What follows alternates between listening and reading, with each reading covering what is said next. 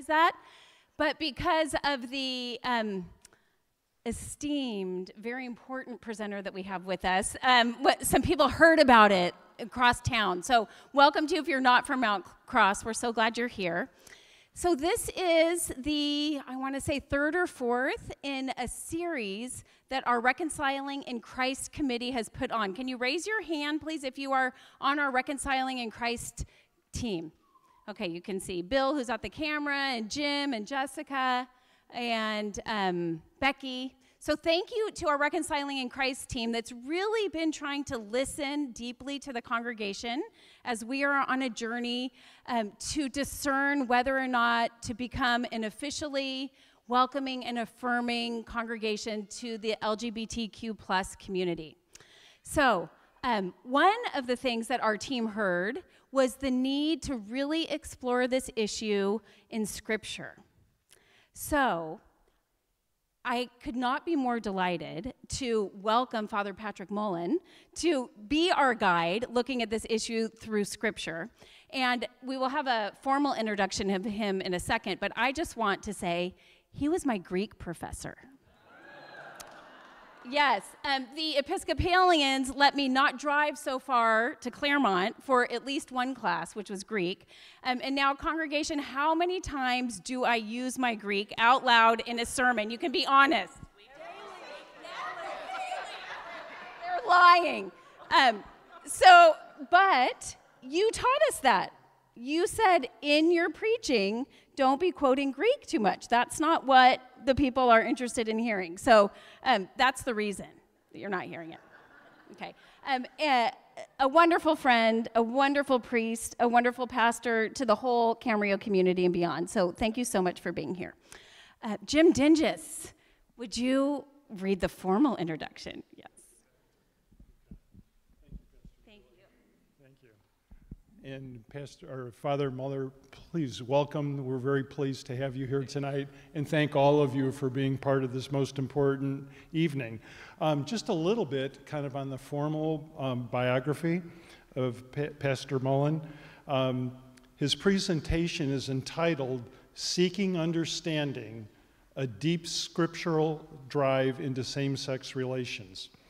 Father Mullen moved first to Camarillo as a seminarian in 1977. Same year I came, escaped Chicago weather and came to Ventura County as well, and has been assigned here the uh, 39 of the last 46 years. He was ordained a Catholic priest 38 years ago, and in 1985 for service for the people in the Archdiocese of Los Angeles, and he's been a pastor at Padre Serra uh, for the last 13 years and served two decades as professor of biblical studies, as Pastor Julie indicated, uh, New Testament uh, at St. John's Seminary in the graduate division. He received his PhD from the Graduate Theology Union in Berkeley, where among his happy memories was assisting the Greek Summer Initiative for students of the Pacific Lutheran Theological Seminary. Pastor Mullen, welcome.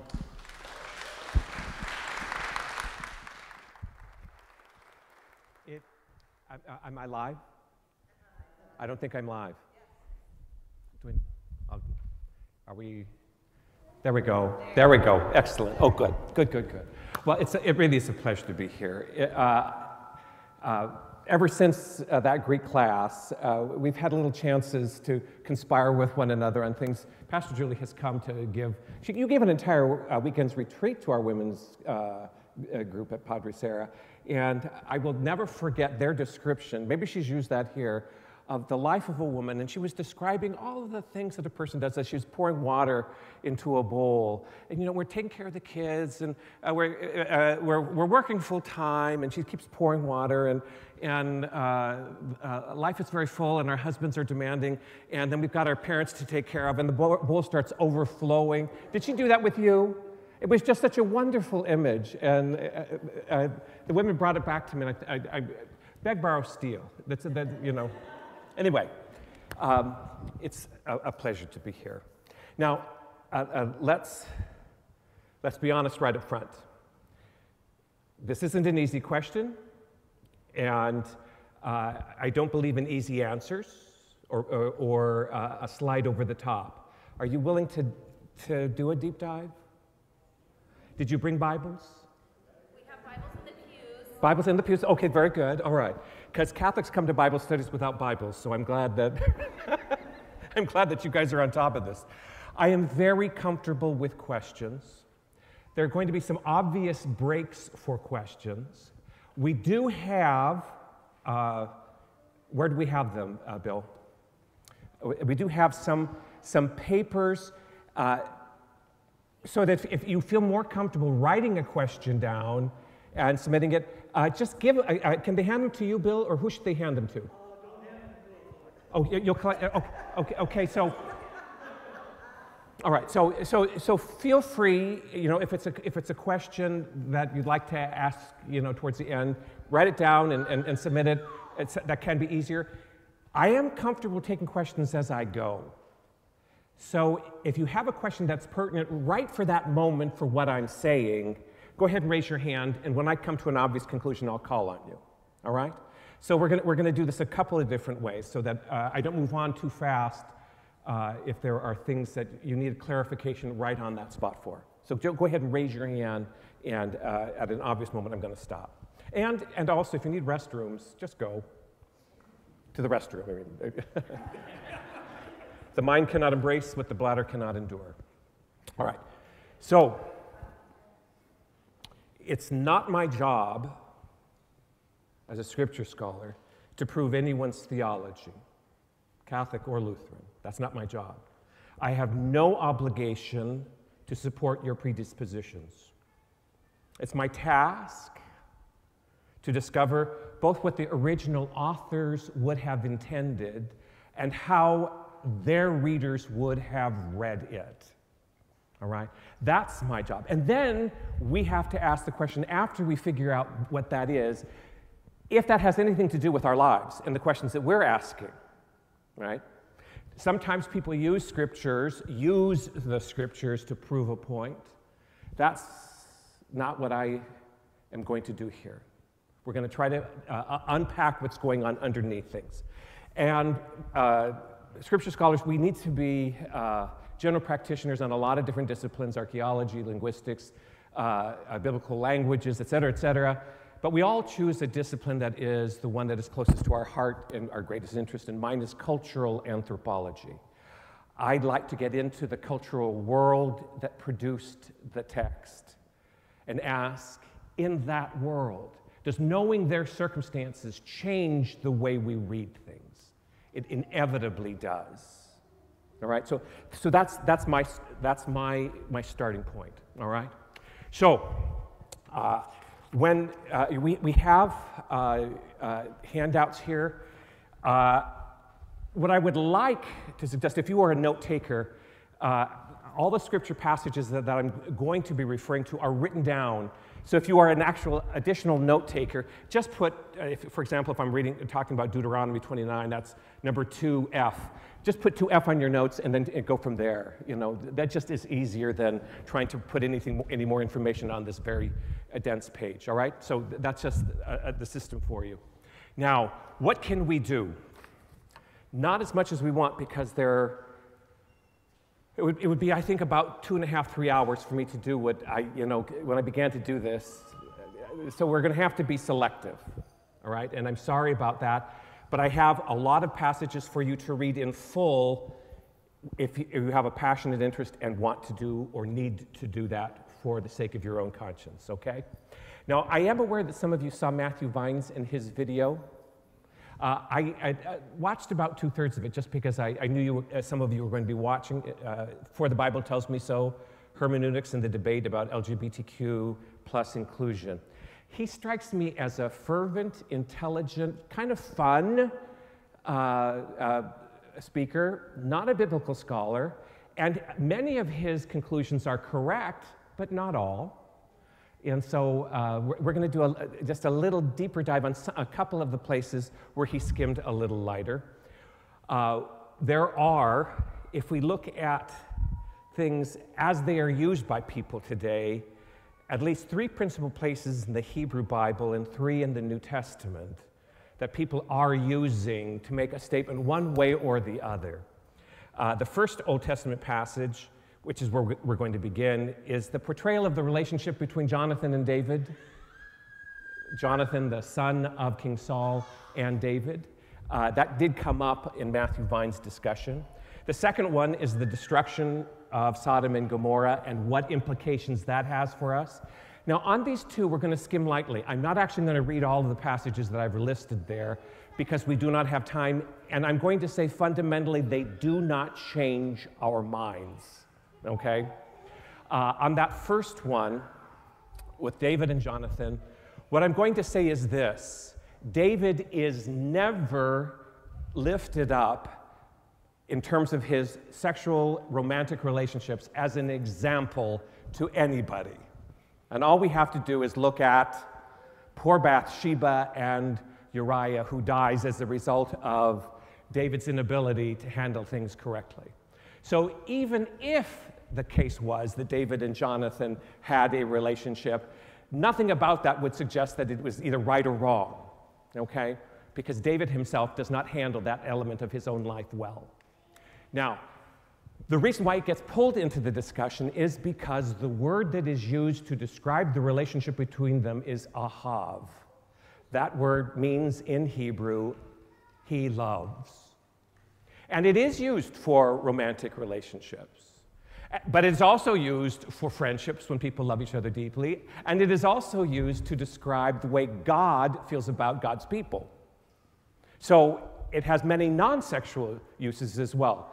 The trouble with Hebrew is that it has a very constrained, small vocabulary, and they have to use words to cover many things. It's not like English, where we have blue, and then we have azure, and then we have indigo. You know, we've got all of these words for blue. It'll have just one word, okay?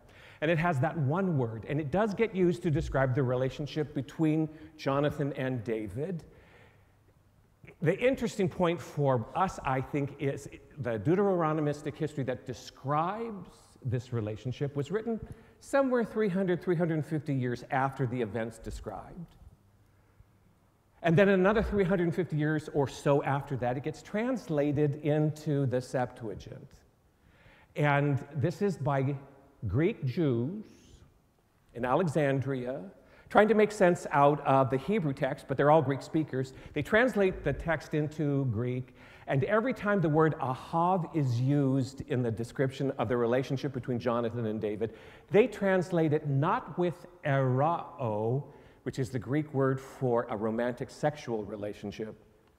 They use the, the, the verb that you have uh, probably heard some form of agapao. You, you've probably heard the mispronunciation agape, the, the correct pronunciation is agape. All right, yeah, agape. Uh, so they don't translate it with the uh, romantic terminology. They use the deep committed relationship translation words. So the Jews of the ancient world did not conceive of it in a romantic sense. Then there is the why was that story included at all? And I'm going to say it's being written during the reign of King Josiah. And it's incredibly important to him. His legitimacy as a king has everything to do with him being a descendant of King David, exactly. Now, the trouble with King David is he's not the first king. Josiah claims a direct father to son relationship going all the way back to David, but David is not the first king. The first king is Saul, who's of the tribe of Benjamin, not Judah like David is. And there is this break between Saul, whose son is Jonathan, who should have been the heir, and the king. There's a break, and David becomes the king. And the whole purpose of describing their relationship in the way that it is is that if David became king, it wasn't because he was competing with Jonathan, he was Jonathan's dearest friend. All right? So it's actually propaganda. The whole relationship is propaganda, not a moral lesson. Now, does it bother me that someone who was gay wanted to look upon that relationship with, ro- uh, with a romantic lens? It doesn't bother me at all, but that's not actually the point of the text. Okay? So, does it help you making a decision about where you're going to go as a parish? I'm going to say no. Fundamentally, it doesn't. All right. Uh, uh, by all means, if you'd like, read all of those, those passages that I've got listed there, and they will, they will use the word love they will also use the word covenant. And the word covenant for us, am I moving too far forward? Oh, I, oh, well, all right. Well, I'm sorry about that. They also use the word covenant. And we all use the word covenant for marriage, do we not? Back then, berith, covenant, wasn't used about relationships between husbands and wives. It was used to describe the relationship between overlords and underlords. There is that moment in Genesis 15, I, uh, you perhaps will recall, where Abram cuts all the animals up, splits them in two, and then there's a fire pot that moves through those. That's actually a covenant ceremony, and usually what would happen would be there would be an overlord a king or an emperor, and an underlord, someone who was subject to him. And the subject lord would have to cut up the animals, and the subject lord would have to walk between them, saying, Let it happen to me as has happened to these animals if I am unfaithful to this relationship with you. It's a dominance ceremony. And God, who topples everyone's expectations, doesn't send Abram through those animals. Abram was the underlord. When they make this commitment, it's God and the flaming fire pot that moves between those animals. It's an absolutely spectacular moment that makes great light of the crucifixion. It's not we who die for our sins, it's Jesus who dies for our sins. What begins with Abram ends up with Jesus in this consistent history of God breaking into our lives to save us from our enemies and, when necessary, from ourselves. So we begin to use that word covenant, which was the dominating word in its original use and would have been at the time when Jonathan and David were using the term. The underlord would have been David. Yes. The under, the under, the, the, the less important than political figure while Jonathan was alive was David. All right. But it was a dominance thing, not a mutual Uh, uh, celebration of commitment and, and, and love and permanence. We used it for marriage now because we have seen how God operates. And what, we, what we're hoping for is that in our relationships with one another, we can act like God does. Okay, so when you see the word covenant, don't be thinking marital covenant in terms of Jonathan and David. It's not, it's a dominance relationship. When you see the word love, don't be thinking romantic, be thinking this is a deep friendship, and understand it's political and propaganda. David didn't topple Jonathan. It was tragic how it ended, and David was dearly moved at the moment when Jonathan dies. Okay? Any questions on this? We're content. We're content. Okay, let's move on to Sodom and Gomorrah. And again, I really encourage you read all of these passages that I have listed in your notes if it's a matter of importance to you. But I'm going to summarize very quickly why this is not helpful for what you are trying to do here. The critical moment is when Lot has welcomed these angelic visitors into his home, and others come seeking to basically rape those, those visitors. Uh, so, this is not a story about committed gay relationships, is it? It's a story about power, and often enough, that's what rape's about power. It's a story about, if you want to call it gay rape, you may, but it's definitely a story about rape. It's not a story about relationship. And so fundamentally, it's not what you're talking about at all either. And it was, it was never understood as primarily an issue of sexual relationships because Sodom and Gomorrah get brought up repeatedly in the Hebrew Bible, in the Old Testament. And I've got the passages listed there where it happens. And I have uh, uh, taken out just the key things that Sodom and Gomorrah were being criticized for. So in Isaiah 1:10, in there in 2e, They had shed innocent blood and wronged the orphan and the widow. That was the sin. In Deuteronomy 29, worship of false gods and idolatry. In Isaiah 3:9, it's abuse of the poor and the needy. In Jeremiah 23:14, adultery, lying, and unrepentance. In Ezekiel 16:49, it's pride, gluttony, complacency, disregard for the poor, and abominable crimes which are not uh, uh, uh clarified. In Wisdom 19:13, it's hatred of guests, which is inhospitality, and the enslavement of those guests. Uh, it gets mentioned several other times without clarifying what the problem is. Moving into the New Testament, in 2 Peter 2 6, it's licentiousness, which might apply here, but lack of principles.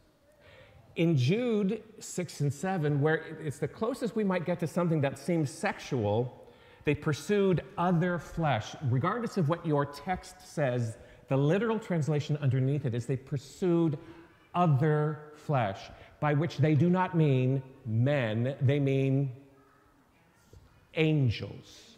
Yes. And they make a deliberate reference to that passage in uh, uh, Genesis 6 1, where the, uh, the giants uh, desired, saw, saw human women and, and, and desired uh, to have sex with them and lost their place in the heavens. They desired other flesh and lost their place in the heavens. So the, the issue here isn't the gender thing at all in Jude, it is that they wanted something that was angelic to which they were not entitled. Okay? So, does the Sodom and Gomorrah uh, passages help you make your decision? I'm going to say they do not. Now, they're going to be used. The word Sodom has become the defining term for the sexual relationship between a man and another man. But that's really not what the passage is about. There is a whole list of crimes. And the thing that is most interesting when you read this is that God is aware of the crimes of Sodom and Gomorrah before he sends the angels. He's aware, but that's why he sends the angels, because all of these other things that we've just read through have been going on there.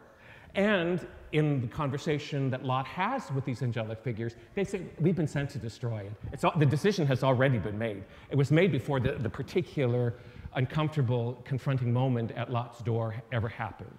All right, so I'm just going to say that's as much as we're going to say about this. Any questions on Sodom and Gomorrah? Are we content? Are we at peace? All right, now we're going to have to dive in. So get your Bible. We're going to turn to Leviticus here.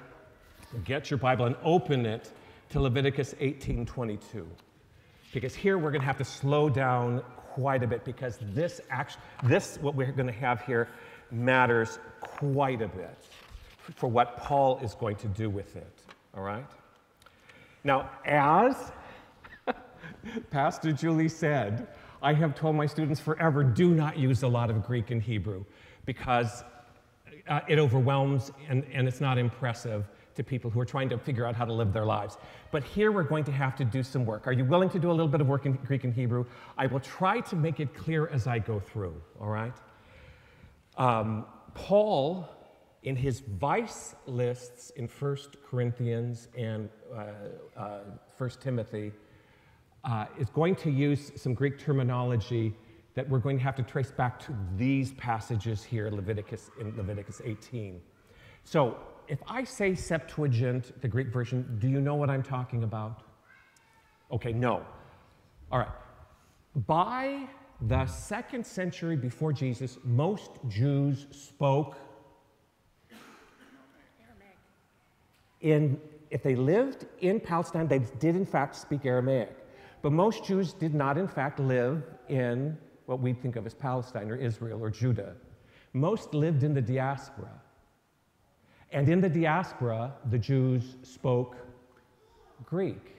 And the Hebrew texts had become unavailable to them.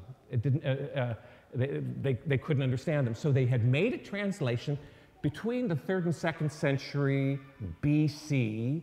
They had made a Greek translation. It's called the Septuagint. You can ask me later about why. It is the text overwhelmingly used by the writers of the New Testament who were also writing in Greek. So when they quote the Old Testament, it is almost always, not, not, not always, but almost always, the Septuagint that they are quoting. Okay? So, we're going to be looking at Leviticus 18 and 20 from the Greek perspective because that's what Paul is going to have used when he writes his. And there are two words that are going to come up in both Leviticus 18 22 and 2013. And these words are arsenos, the word for male, and koitain, the Greek word for bed, but it comes to mean sexual intercourse. Uh, our English word coitus, comes from it. It originally meant bed, but so arsen and koitain, those two words occur in both of these passages. So literally what we find in Leviticus 18:22 and with a male arsen you will not lie in sexual intercourse koitain as with a woman. It is an abomination. Okay? Then in Leviticus 20, 13, go ahead and, and, and shift there. Leviticus 20:13 is going to be a little bit more expansive. We actually think that the author intended to expand it. Whoever lies with a male arsen in sexual intercourse, koitain, as with a woman, they have both committed an abomination. Let them be executed. They are guilty. All right? So those two words occur in both of those passages. And the, uh, the judgment of it is that it is repugnant. Bdelygma. It is repugnant. It's when uh, that word has when you've got a visceral reaction to it. When something is disgusting, uh, you open your trash can and the maggots have gone to, to heck and with whatever you've thrown in there and you feel that, that gut, that visceral thing. Well, that's what this word is describing, okay? So it's very strong language, and, at least in the second passage, a deliberate call for the death penalty. Sounds serious, doesn't it? Now, having said that, not everything that the Old Testament calls repugnant is considered repugnant by us. And I give, and it's the classic example, but it is the effective one. Leviticus 11:10. I will, I'll read it for you. You don't need to switch there. Stay here in uh, uh, uh, Leviticus 18. But in Levit- Leviticus 11:10 it reads, "But of the various creatures that crawl or swim in the water, whether in the sea or in the rivers, or all those that lack either fins or scales, are loathsome to you." What are they talking about here? Lobster, shrimp, crab yeah, shellfish. Bottom feeders, they eat dead things. And God is the living God, and things that eat dead things are repugnant. You do not eat them. All right? Now, have any of you eaten lobster? Or shrimp? Or crab? You have done something biblically repugnant. I just say, I just point that out. It is not the case that because the Old Testament calls it repugnant, that necessarily we consider it so. All right? So, uh, then the death penalty is also applied here. That seems very serious, but, but we also don't apply every uh, death penalty that the Old Testament encourages us to do. For example, uh, in Exodus 35 2, on six uh, days work may be done, but the seventh day shall be sacred to you as the Sabbath of complete rest to the Lord. Anyone who does work on the Sabbath day shall be put to death. And they actually used this passage against Jesus, who does on the Sabbath. Yes. And, and he's going to be just fine with that. Now, there's the interpretation of what is work and, and, and what is the, the purpose and intent of, uh, of Shabbat, of the, of the day of rest. But there are things that are repugnant in the Hebrew scriptures that we do not consider repugnant, and there are things that have death penalty in the Hebrew scriptures that we do not apply. And we have to have a reason for that, don't we? What I'd like to suggest is for the most part, there are three distinctions that we need to be aware of. One is the world of morality. When the Old Testament speaks about morality, we largely take it seriously, all right? When it speaks about worship, we largely don't. You're not concerned about the temple in Jerusalem, are you, liturgically? No. It's not a concern for us. And they had another part of their religious life that we abandoned completely because of the teachings of Paul, and that was their concern for ritual purity. All right? In their world, God was the living God, and anything that resembled death, like leprosy, looked like decay. The shedding of blood. Blood is sacred, it's the, it's, it's the very essence of life. Uh, animals have to be slaughtered in such a way that the blood is drained for them. Menstruation causes a problem because there's loss of blood, which meant loss of life. Uh, sexual intercourse, uh, after sexual intercourse, there's this diminution in terms of life's energy. It feels like you're a little dead. Uh, anything that was remotely connected to death had to be set aside, and you had to bathe yourself and perhaps do a sacrifice, depending on how serious it was, before you could enter into the presence of the holy. Okay? Now, Paul says all of the exercises that they did there, those were the works of the law that Paul says, you know, we never did them well enough.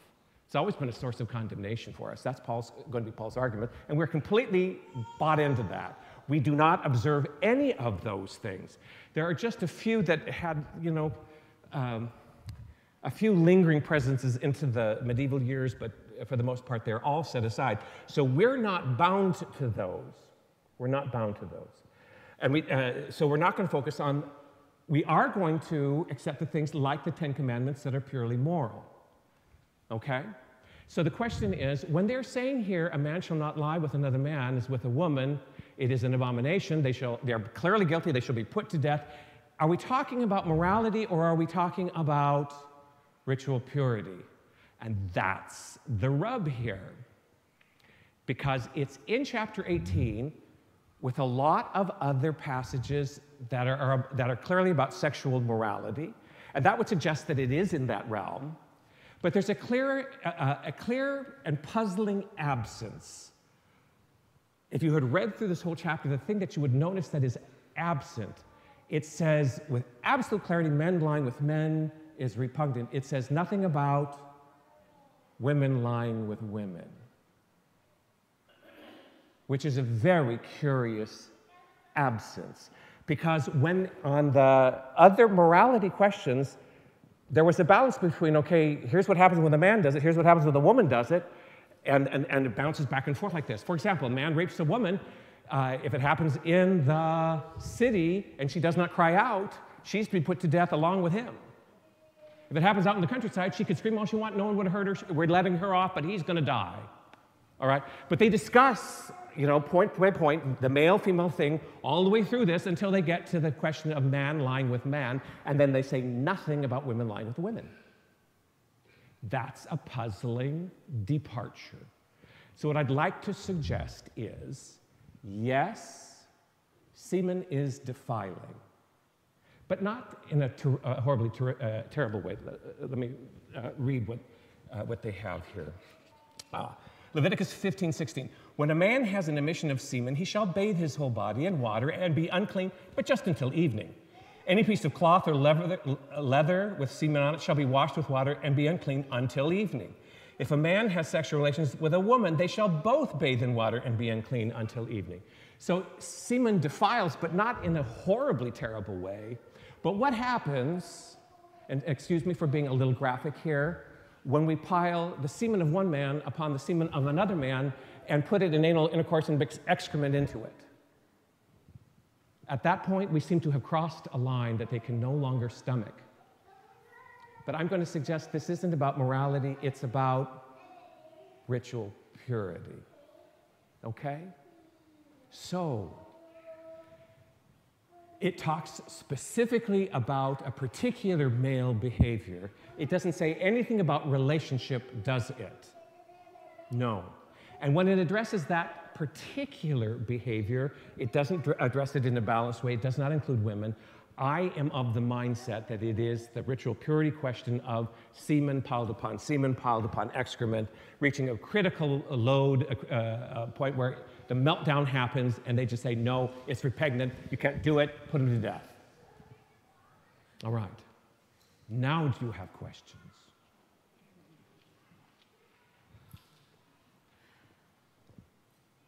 Does anybody want to write a question down? this, this one might be too awkward to actually ask.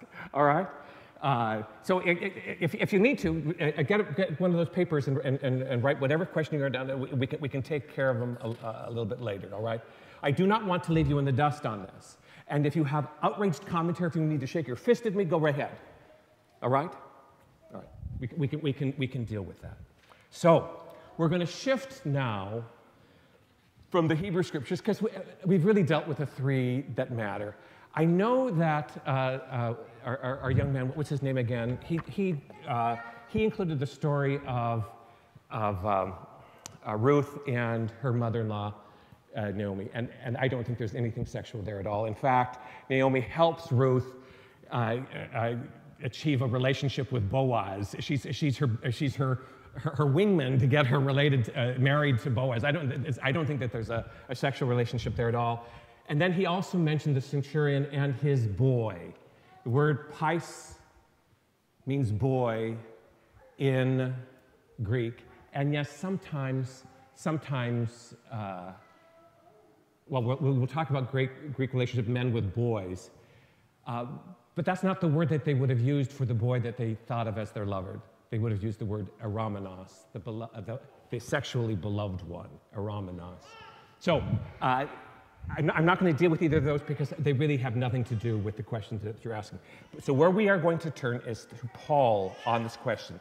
And the key to this is 1 Corinthians 6 9. Please turn there.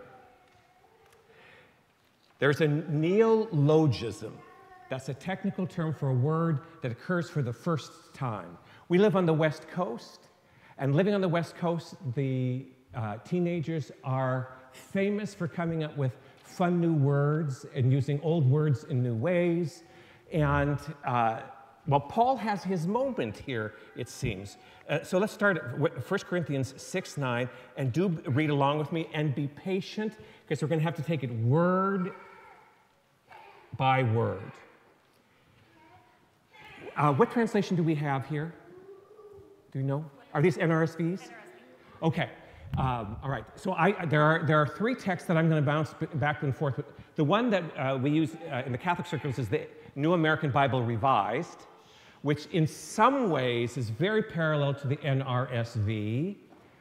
And now that we have the NRSV UE, which, uh, so these three are the ones that I'm going to bounce back and forth between, okay?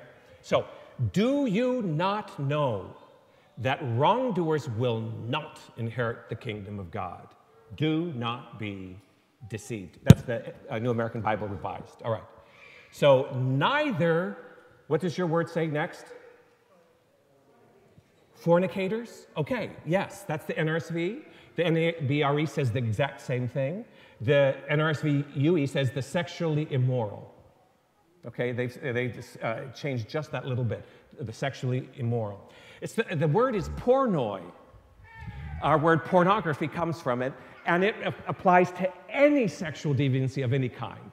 So it can mean, among other things, um, fornication, prostitution, adultery. Now, we're not going to uh, include adultery as a meaning for the word here in this place because two words later, we're going to have the exact technical word for adultery.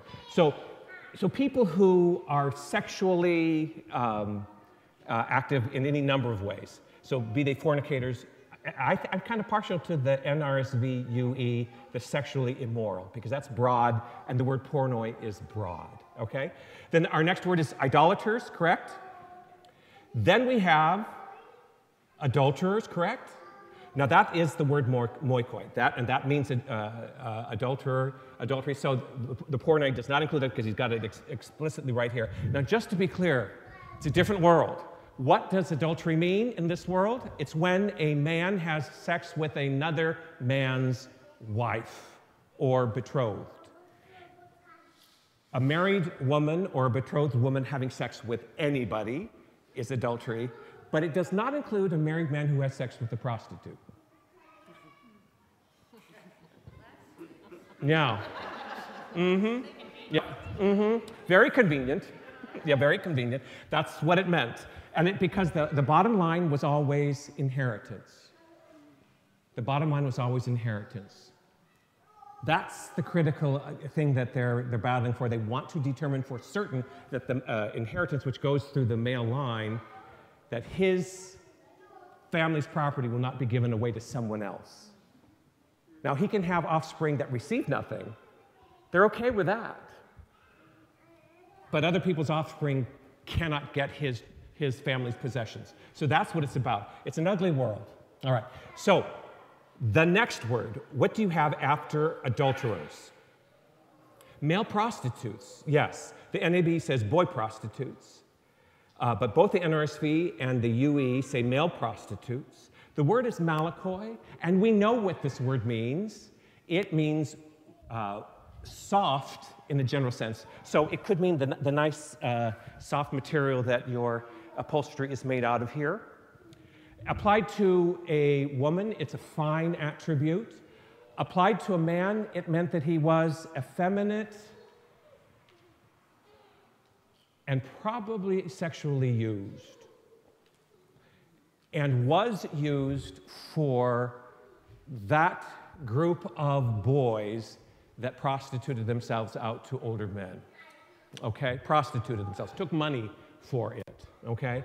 So Malakoi, we know what it means, and so either boy prostitutes or male prostitutes, that's a fine translation for that word, okay?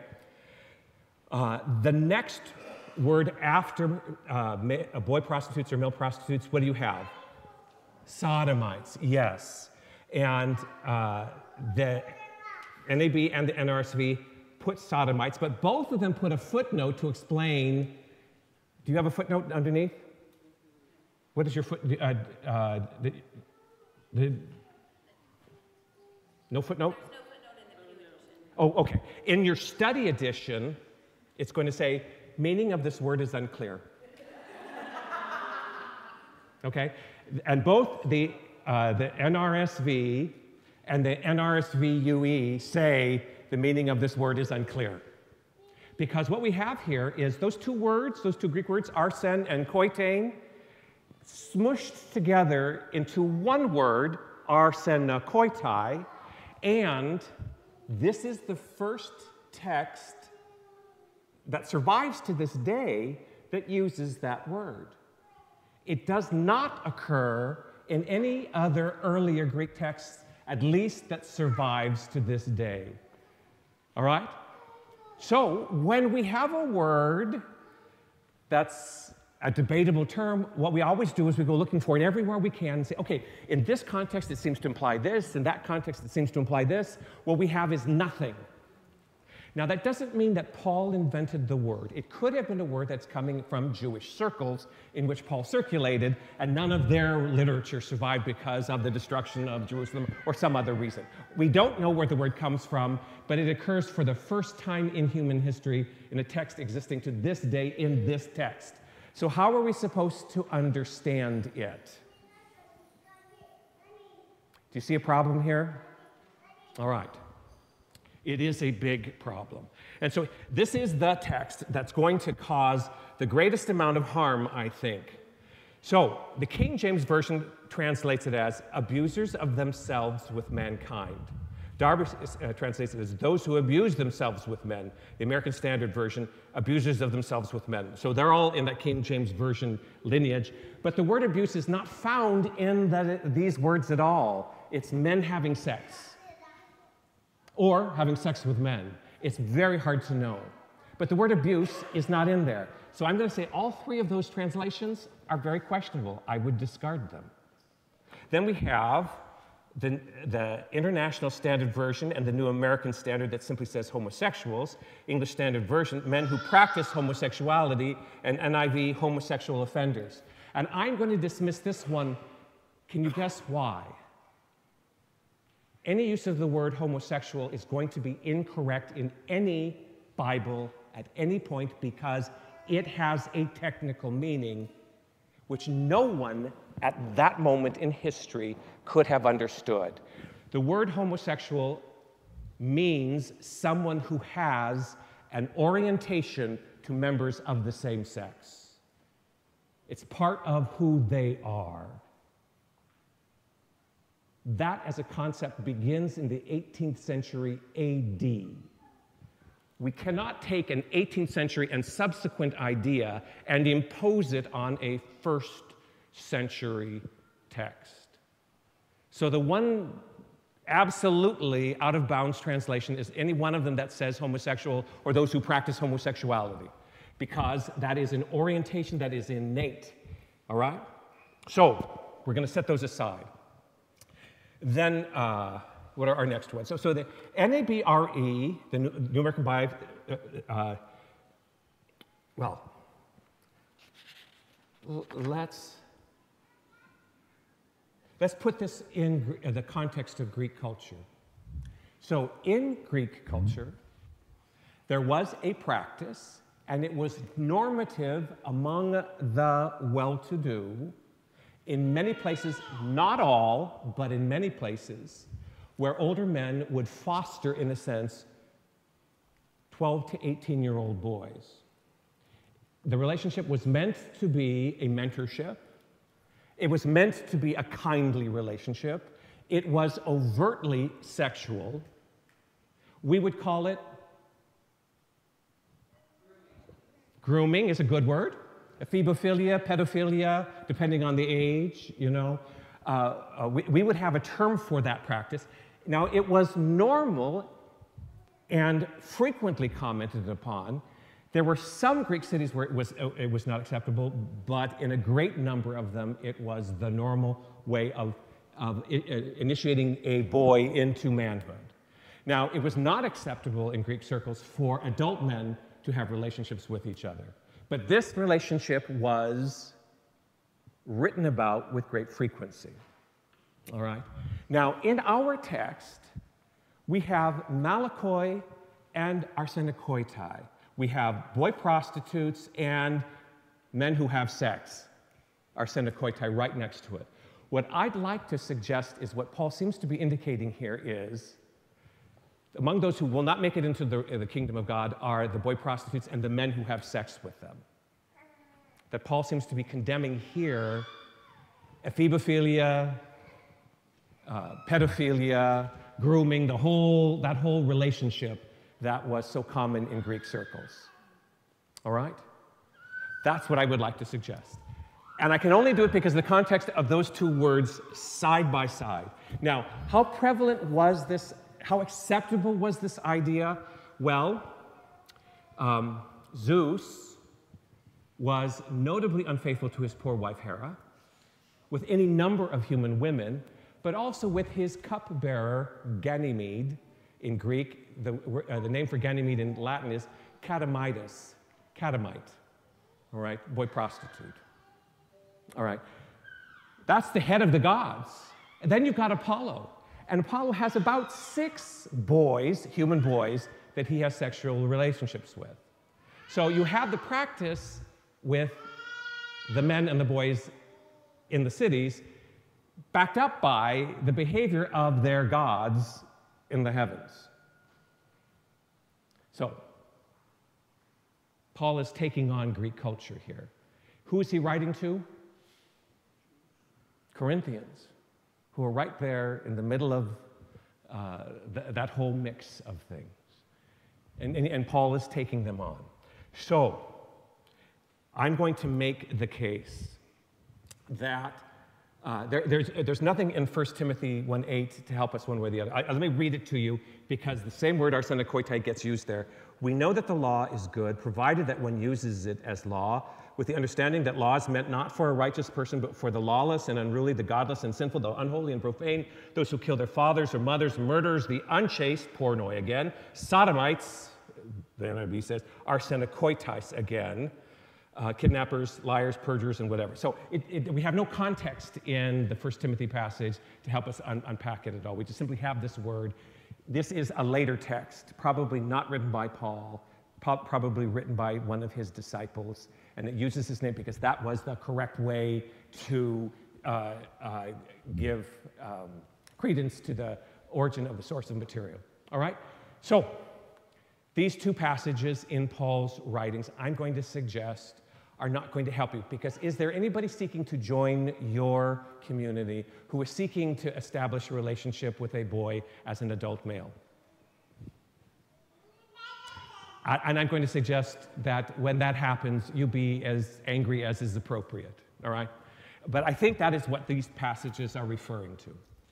All right, questions? Just an observation. I mean, what happened to ancient Greece? It dis- disappeared, right? It was destroyed. Well, Greece, Greece. Okay, uh, uh, what happened to ancient Greece? Ancient Greece was, by the time of Paul, already defeated by Rome. Okay? Uh, one of the things that happened were the, the Greeks were in a religious crisis. Uh, their gods had failed them. Athens was supposed to be defended by Athena, but she had failed. The Romans had conquered them. Uh, Artemis was supposed to defend Ephesus. Artemis had failed. The Romans had conquered them. So the Greeks went looking for some gods that would work for them. They looked at the Roman gods and recognized that the Roman gods were their, just their gods with new names, you know. So those, were, uh, those weren't any good. The thing that happened to the Greeks was that Christianity came along, and there was a God who broke into history not to rape you, but to save you. It was good news. It was a completely different approach to faith and religion. It really was good news. We're so used to hearing about our loving, good God. Well, we, we, we can't ever hear it the way they heard it because it was such a strikingly novel idea for the Greeks. The Greeks took to Christianity hand over fist because uh, uh, it offered something of substance. Philosophically, the, the, the, idea that there was one God was so, so appealing. And Judaism was appealing too, but they had to get circumcised and wanted to not eat bacon for breakfast. So, anyway, Christianity became. uh, So, so the, the, the Greeks become Christian, is what happens. And part of it is because they're a conquered people looking for something that's going to feed and nourish their spirits. Well, I think there was a lot of cultural melees before that happened, too. I mean, kind of rotted from inside. Well, I'm not going to comment on that. Uh, that's, uh, uh, that. That's entirely possible. Yes. I'm having a little bit of trouble, and I wanted to ask for clarification. Yes. On the use of the term homosexuality. Right. Um, your specific definition of that is, is someone who has innate, inborn attraction to the same sex. Right. Which I agree. Uh, but you said there was no reference to that in the times that we're Right. about right now. Exactly. So when there was same-sex relations, are you saying that it was simply what was accessible, what was pleasurable, what was fashionable at the time? That you, we do not feel as though the men participating in this actually had the desire or, or were homosexuals as we know it? That they were just doing it out of lust and not out of anything else? No, their, their percentage of homosexuality was probably parallel to ours. What was different was their understanding of it. The understanding was that everyone was obviously oriented to the, the, the other sex. And some people didn't act on their correct uh, uh, attractions. Some people defied their correct attractions. Can that happen? Yeah, I think, it's, that's- I think that's possible. But What, so their, their, their correct attractions would be a heterosexual? yes, They truly believed that everyone was heterosexual? Exactly. That was their presumption. So it's a different presumption than what we have. I'm having a hard time. Yeah. Yeah, well, Because they're seeing it in every single day, like we see it in every single day, that it never occurred to them that this was. well, when it reached adulthood, when it reached adulthood, they saw it as shameful. It was something that they accepted between men and boys. It wasn't something that they accepted between adult men. Was it financial, inheritance problem, political? Like, No, no, there's, there's no inheritance problem when men have sex with men. There's no babies. no babies. yeah, yeah. Well, don't mm-hmm you think part of that would have been because they wouldn't recognize the homosexual aspect of things because it was hidden? Well, People would be afraid to let that be seen. please, please observe that virtually every culture sees itself as normal. Whatever it is that we do is normal. Mexicans see themselves as normal and they think that we are interesting. Just like we think they're interesting. But they perceive themselves as normal. Now, when the norm is heterosexuality, who gets to decide that there is an alternative? See, the, the, the, they knew the norm.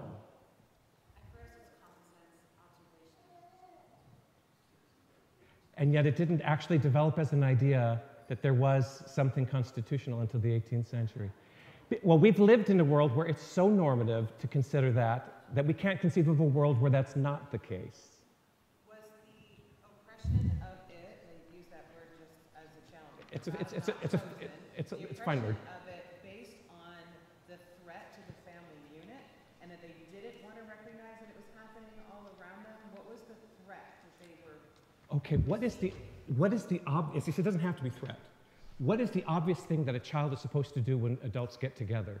When you go into someone's house, what is the obvious thing that your child is supposed to do? Stay out of the room.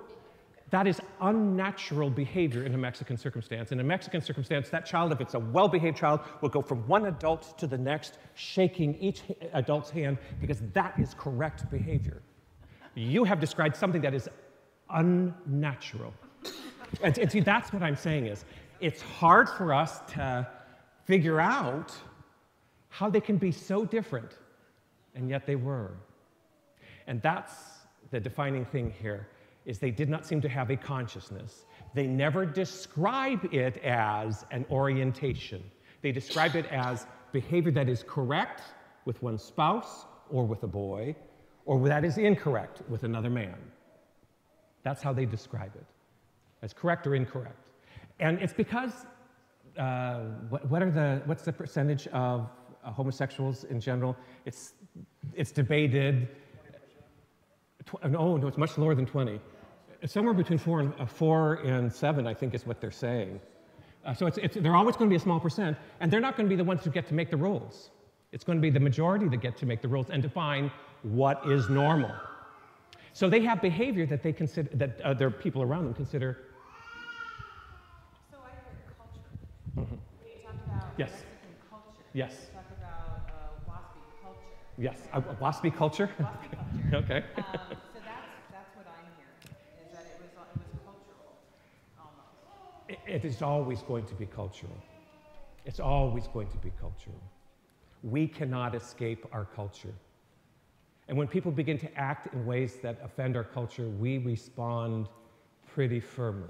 That's the human response. And it has a lot to do, I think, with our hunter gatherer years. We had uh, 100,000 years where we had these small little groups that wandered, about 30, 35 people, and you you were either an insider or an outsider, and the outsiders were always a threat. Well, this is why you're here, Yeah, because that's we're yeah, I mean, To me, in Yeah. my perception, I Yeah. can't speak for everyone. yeah, It's, it's, we don't understand, we don't understand, we want to understand. exactly.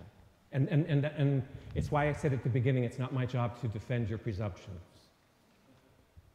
You did say that. I did. I did. Yeah. It's not my job to, to affirm the presumption you walk into the room with. In fact, it may be my responsibility to challenge the presumption you walk into the room with, with a different worldview. And their worldview, when it's their scriptures, is the one that has to be the starting point for conversation. Because when we imply what we think, we end up with homosexual in the text. Can we help doing that? Yes, with a lot of study. With a lot of study.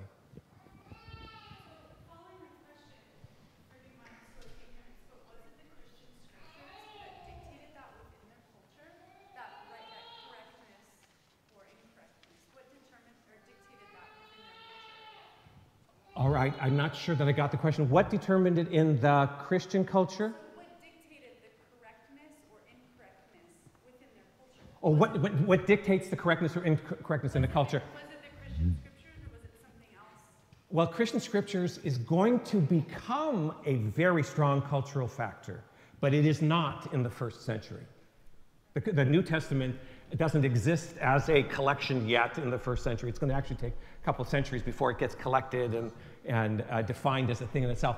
But it begins to have it begins to have more and more weight because early Christian communities begin to define what can be used there what can be read when the community gathers to pray. And they begin to define canon lists, uh, uh, things that, that we allow these things, and, and they actually compare notes. Uh, that's what begins to determine that. And so the more authoritative the New Testament becomes, the more influence it's going to have on culture. In the first century, all Paul has is his own persuasiveness. And he is a fairly persuasive guy. He's fairly successful among the Greeks. Not so among the Jews, but among the Greeks, he's pretty successful. So the thing that's going to determine it in the Corinthian culture is how persuasive they read Paul in competition with the world that they live in. And it's hard to change your culture. Hard to change your culture. Yeah. Okay? So if I could, uh, because I think it gets to the core of it, we're building on each other's questions. Yes. but That was. my These are great, these are great questions, by the way. My, these are the questions, that was the question that I had going in. Why was it determined that people who in our modern times were homosexuals would not be accepted into the church in the first place? Why hasn't, why haven't they been a part of our church all this time? Why are we now having to make exceptions? Okay, so that's, that's, that's a great question. And just for the sake of the people who are on, on the, uh, why, why hasn't this been understood better all the way through? All right, because what we have is a text moves into someone else's culture and there is a new word. What do they do with that new word?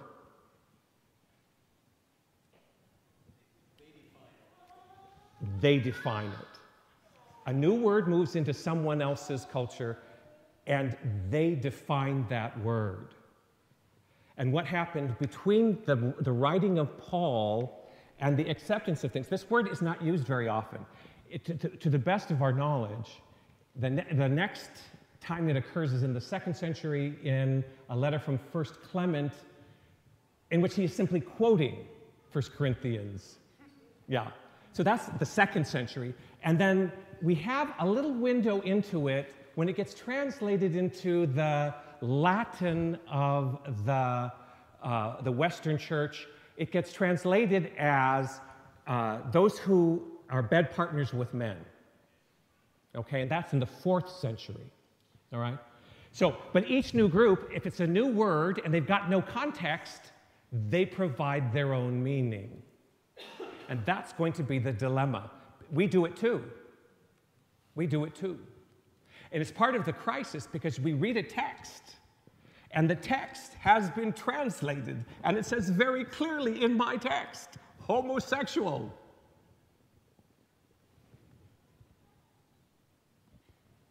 That's why we have to do the underground work here. Well, along the same lines then, going back to Levit- Leviticus. Yes, I was too embarrassed to ask the question. it, it got a little awkward. Um, You used the term, it was a, it was not as much of a moral issue as it was a um, Issue of ritual, ritual purity. ritual purity issue. What is the distinction there? Okay, all right.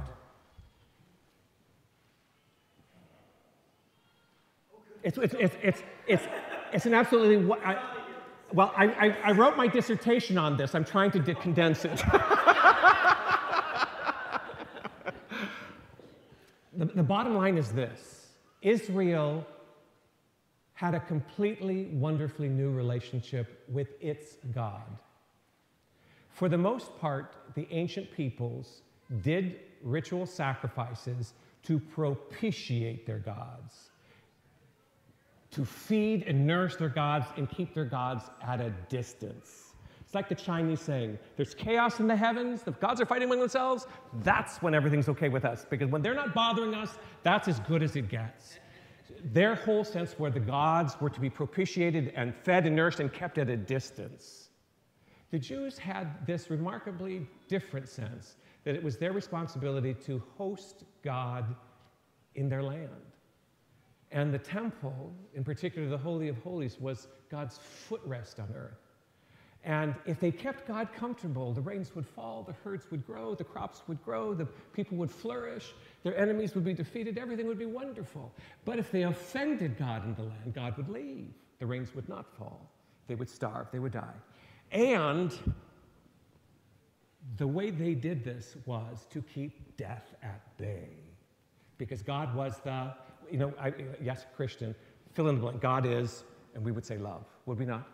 That would, that would be what we would say. But if you asked a Jew in that pre Christian world, God is, they would say, the living God, as opposed to the dead gods, the non gods. He is the truly living God. And death had to be kept at bay. And so the whole ritual purity construct was if you were going to enter into the temple precincts, you had to be ritually pure. So anything of death had to be kept away. Leprosy looks like decay, all of that. So if you read through Leviticus and Deuteronomy very, very carefully, everything that they prohibit in terms of ritual purity, it's all something to do with death. The thing that defiled you more than anything else was the human corpse. Okay?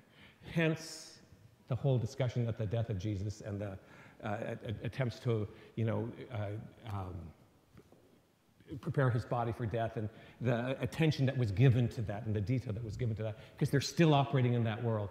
Paul comes along and he says, You know, we never did that purity ritual stuff very well. We've had hundreds of years where we've been conquered by someone else. We've always failed. Why do you want to make the Gentiles do it too?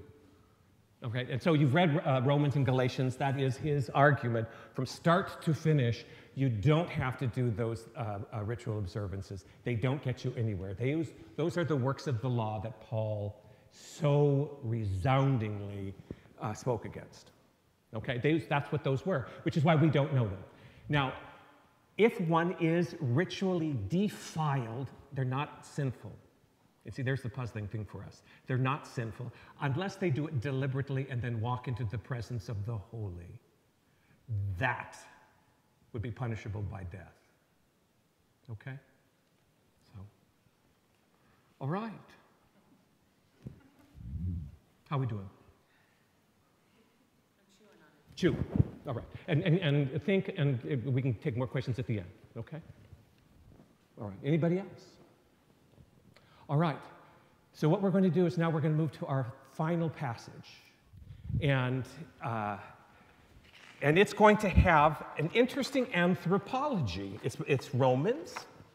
So please turn to Romans 1 18, because you're going to want to read along here. Now, the Romans are different than the Greeks.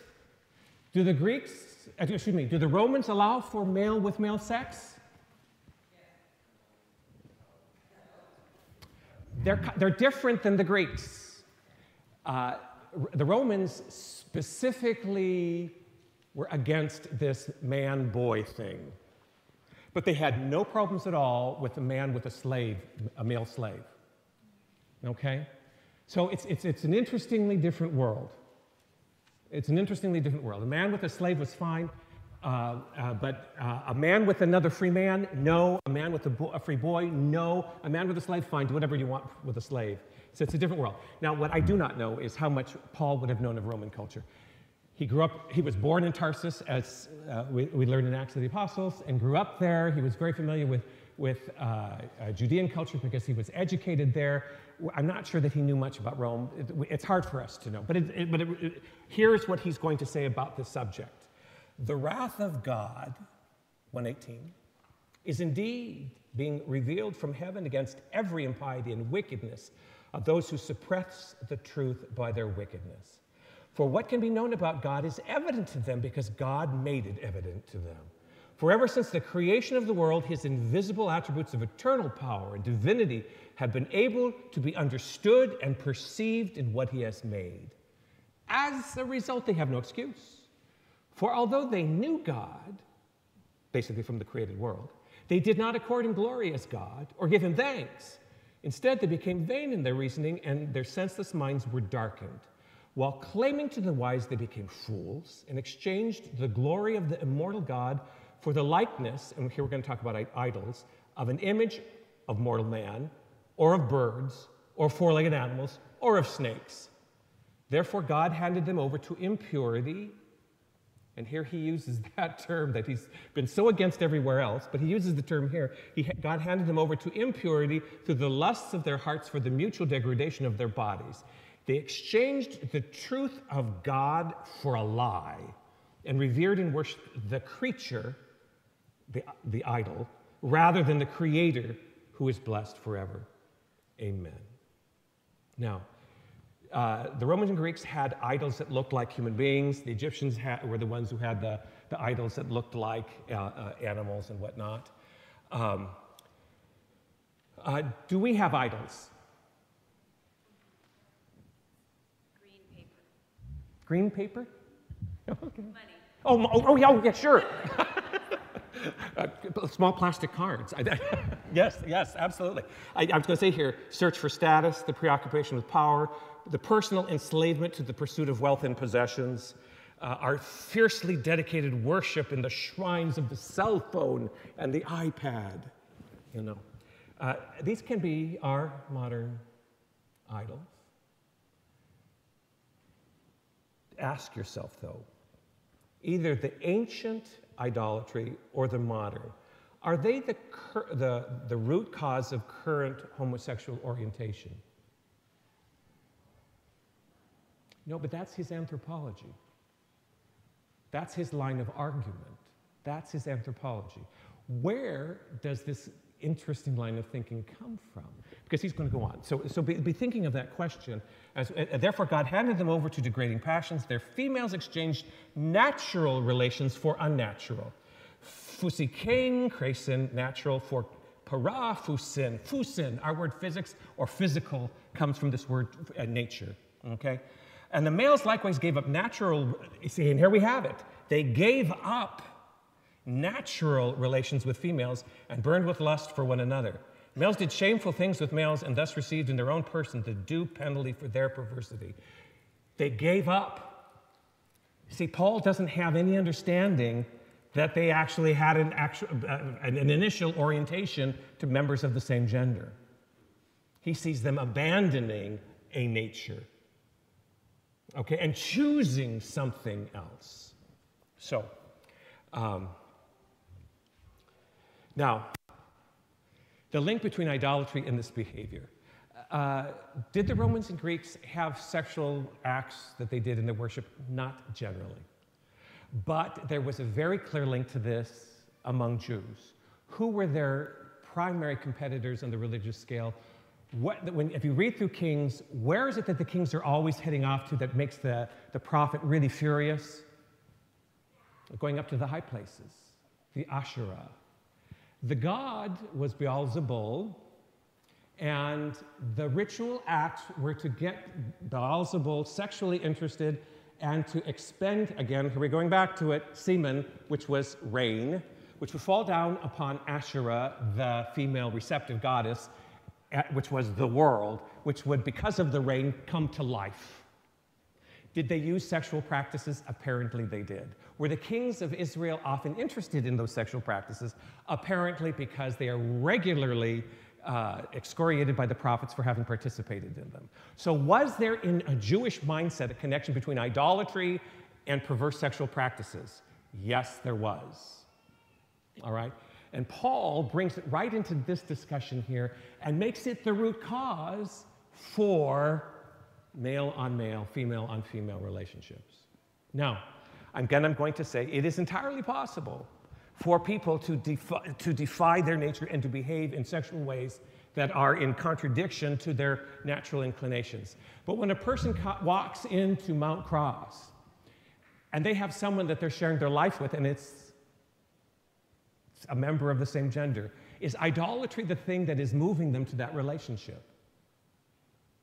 I'm going to say no, that's not the explanation. Paul's anthropology is where we have the clearest indication that his own understanding of human nature is that we're oriented towards the members of the opposite sex, and that's that. Some people choose to defy that nature. Now, let me ask is it in fact nature? In 1977, a group of um, UC Irvine professors out on Anacapa Island, our own island right out here, discovered that some 14% of the birds were raising eggs that were fertile, which meant that at some point someone had sex with a guy, but they were paired female to female. And they not only raised this uh, clutch, they continued and remained mated for the rest of their lives. that some 14% of the seagulls out on Anacapa were having female female relationships. Now, subsequently discovered that that whole thing with DDT that caused the whole terrible problem with the eagles and everything was having the same problem with seagulls. And the eggs that were most affected were the male eggs, which means that there was a superabundance of females. And when that superabundance went away, then behavior became a bit more normal. But once the question got thrown out there in 1977, how can there be female female mated seagulls with the presumption that this just didn't happen in nature? They began to look for it, and where did they find it? Absolutely everywhere. So when we talk about nature, Fusin, it's happening all over in nature.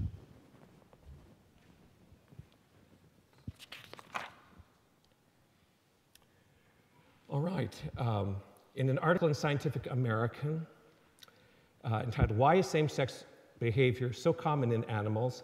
This is in, in 2019 in Scientific American. They, they say same sexual behavior can include, and I'm sorry, we're going to get gra- graphic again here.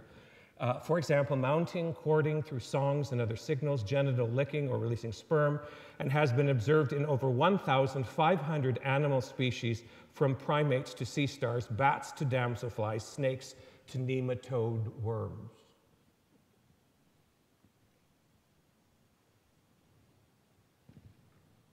When we talk about nature, nature's more complex than we might have thought. So, what am I going to conclude? Unless we are fundamentalists, and we're not fundamentalists here, are we? Are we? Are we? Okay, good. All right. Uh, uh,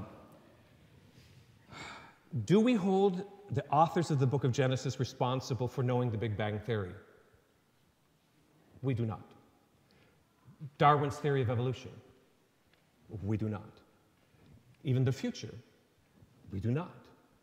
Unless we are fundamentalists, we don't hold biblical authors responsible for including, and they do, historical mistakes. There are mistakes of history in the scriptures. There are geographical errors in the scriptures. Do we hold them responsible for that? I'm going to give a Catholic answer, and, and this will probably resonate, and you can tell me otherwise, okay, Pastor Julie? Uh, from a Catholic perspective, the scriptures are inerrant in things necessary for salvation. That, uh, that things that actually matter for salvation, there, there's not going to be an error. Is history necessary for salvation? Is geography? Is science? The answer to that all is no. Is it, does that sound? Yes, Fair. right. Lutherans, how are we saved? By, through. Okay, all right, okay. So, so having said that, if we, if we are, are, are going to ask ourselves how to handle this thing here, uh, it would be wonderful if all of human nature was understood by the biblical writers. But to the extent that sexual orientation defies even our ability now to find reasons for the differences we see around us. Is it nature? I mean, when I'm talking about homosexuality, is it nature or nurture, biology or rearing? We don't know. Is it caused by burst, burst of estrogen while in the uterus? That's one of the theories, but it hasn't been proved. Is it all in the brain? It's possible. We don't know. If we can't figure it out, how can we expect them to have? Having said that, people who are LGBTQ, they still have to live. And they hunger to love and be loved and have every right to be every bit as squirrely about sexuality as the rest of us. All right? So I'm going to, I'm going to, here is the bottom line for me with these texts. The writers of the New Testament could not have perceived what we would say is constitutional in the orientation of either men to men or women to women. They couldn't have perceived that as a constitutional element of who they were. They describe it as an abandonment of their nature, a defiance of their nature to choose something other. But if you talk to someone who is gay or lesbian, that's not their experience. Now, bi is, a, is, is another thing, and that's a whole other rich uh, uh, uh, uh, thing for, for unpacking. Uh, but when they talk about their own experience, they don't have a choice. which is something that the scriptural writers could not have understood, did not from their culture, and cannot be held responsible for providing us answers for the questions that we have today. Because we don't have people because of idolatry or crazy cultic practices looking to be members of our church. We have people who are moral people. I looked at that young man in that, that, that video. He's a good guy. He's trying so hard to hang on to his faith, you know, and he's looking for answers and he's trying to provide answers for other people so that they can lead a moral life, a, a- in a committed relationship where things are, are, are, are, are Christ centered. That's what they're hoping for. That's not what Paul is describing here. Paul is describing a different world with a different set of problems. He's not answering our question. And that's my conclusion. Paul is not answering our question. Leviticus is not answering our question. And the people who today are coming to us looking to belong to our communities, they shouldn't have to bear the weight of the concerns of ritual purity of the Jewish world or of the ephebophilia and pedophilia of the Greek one. They shouldn't have to bear the weight of that because that's what that world was responding to. Okay? So then, where do we turn when we're trying to make a case for either accepting or non accepting?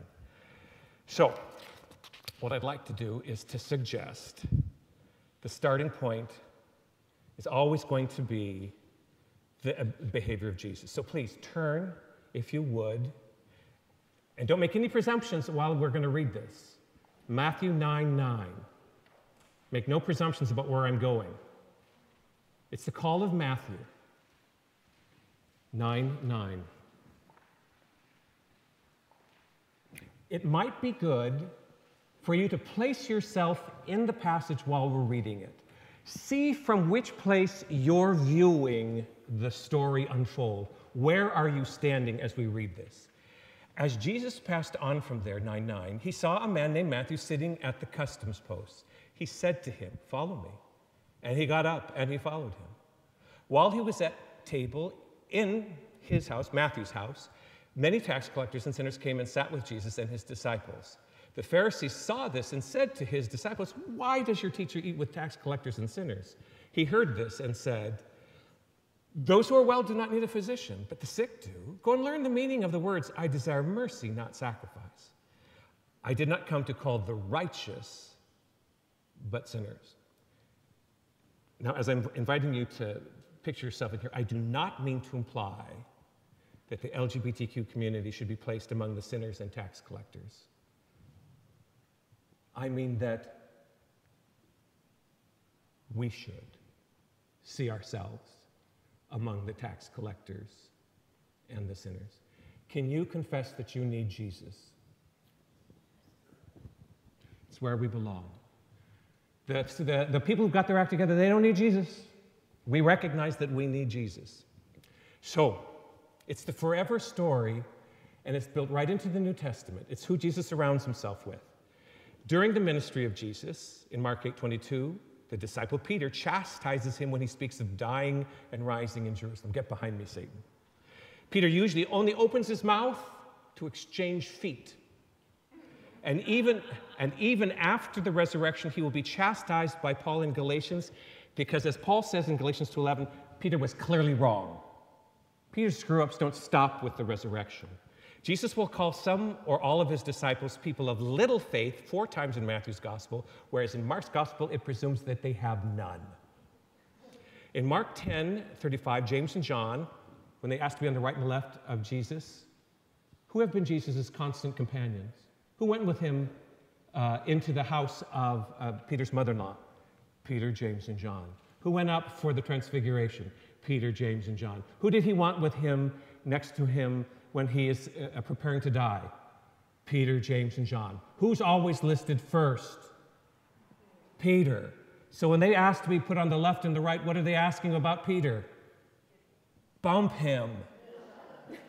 This is such a nasty moment in Mark's gospel that Matthew rewrites it and makes the mother of James and John responsible. Anyone can forgive a mother for being ambitious for her kids, but that they should have asked for it themselves in Matthew and Mark's, in Mark's gospels, excuse me, completely unacceptable. But that's who his disciples are. That's what they're like.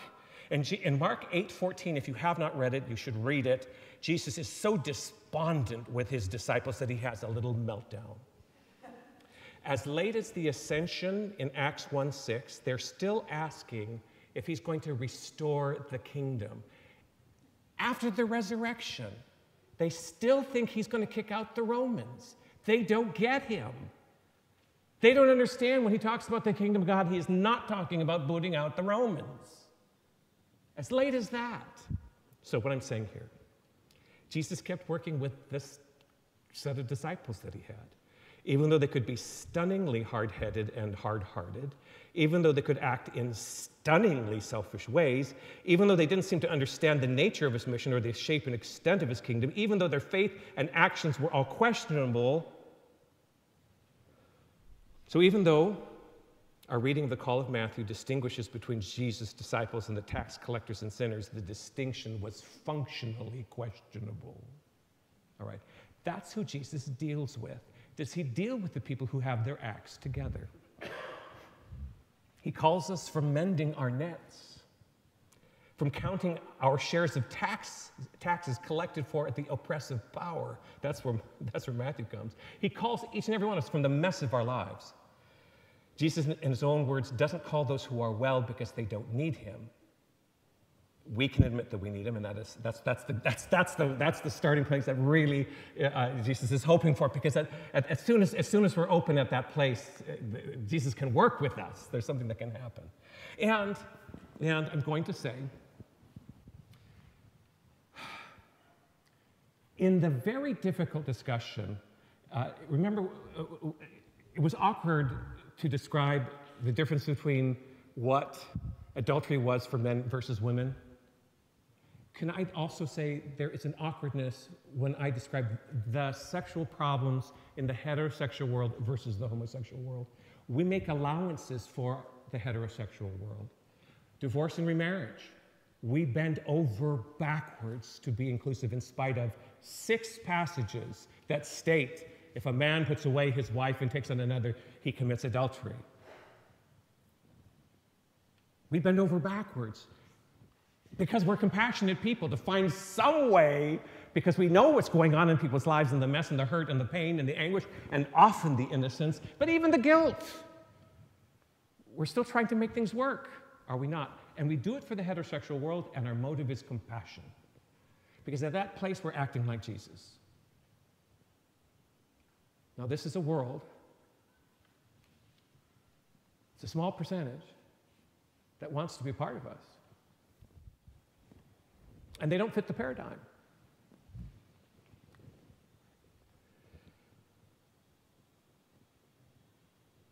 I hold that the pertinent texts do not actually describe or refer to our LGBTQ companions and their circumstances and motives in expressly clear, uh, clear ways. We can't hold them responsible for the Greek nor the Jewish world's problems. We have to walk side by side with everyone, listening carefully to their story, working with them to discern what a moral life for them would look like, and it might look differently than ours. In everything, we have to look not only to the teachings of the scriptures, which in this case don't seem to answer our questions, but also to the example of Jesus who welcomed everybody and delighted almost in making his contemporaries uncomfortable.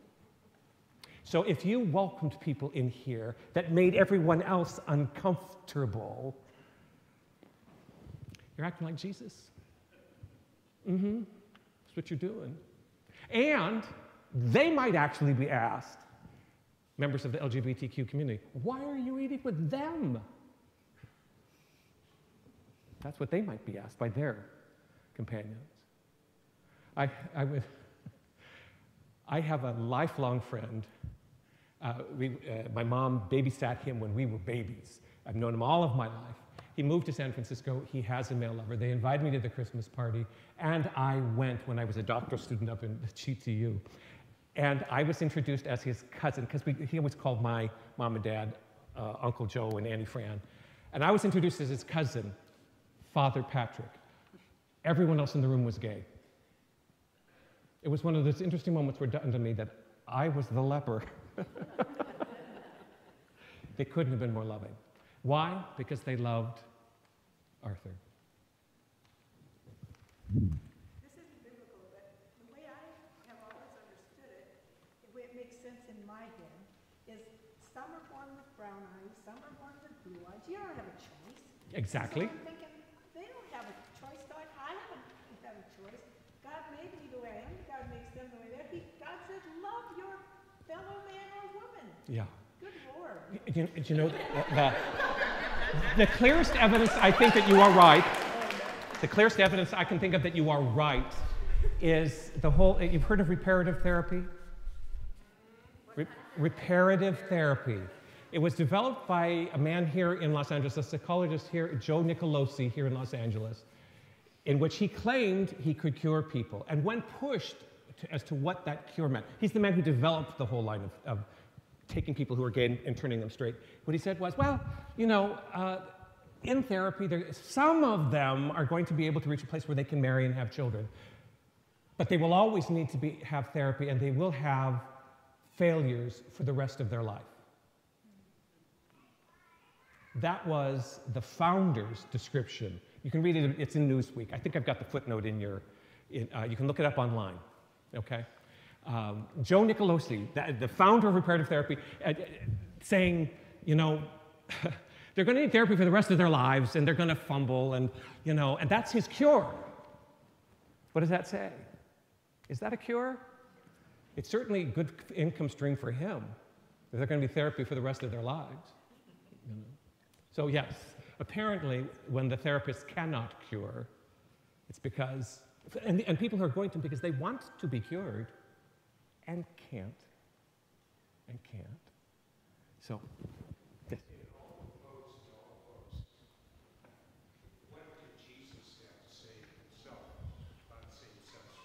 Absolutely nothing. So uh, the question was, what did Jesus say on the question of same-sex relationships? And the answer to that is absolutely nothing. Was that, was that your point enough? Yeah, okay. Absolutely nothing. Uh, but, but please notice, Jesus doesn't spend anywhere near as much time on sex as the rest of us. It's not, it's, it's not his focus. If we have made it the focus, that's our problem. And I think it is our problem. It is our, it is, it, it's our problem. Yeah. Uh, I think of that woman caught in adultery. He does, he does say, you know, go sin no more. But good heavens, could he have been more compassionate to her? And he specifically makes it clear he does not condemn her. And he defends her. And he doesn't go after her first, he goes after the people who are all obsessed with the whole thing. That's who he goes after. So that's, that's his behavior on the whole question of sexuality.